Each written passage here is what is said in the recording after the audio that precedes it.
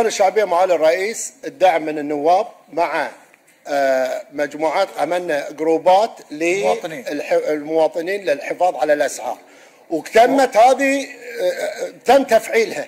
وشفنا إن بعض التجار بدأ يتخوف من هذه ال- ال- اللجان الشعبية وبدأ يضبط أسعاره.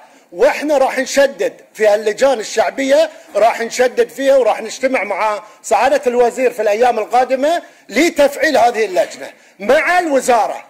لأن إحنا نشوف كل القوانين كل ال- اللجان المفروض اللي تفعلها الوزارة والوزير يكون مسؤول عنها ما تفعلت إحنا راح نفعل لجان شعبية مع أصحاب السعادة النواب لتثبيت الأسعار وشهر رمضان على الأبواب ونتمنى إن هذه الأسعار تكون ثابتة. والتاجر اللي راح يزيد الأسعار راح يتم مقاطعته معالي الرئيس. شكراً. شكرا معالي الرئيس. هذه فكرة زينة طبعا وبيتم أكيد بيتم آه، تشكيل آه، هاي اللي قاعدين نعمل عليه إحنا. انه بتصير بنشكل لجنة لمراقبة الأسواق.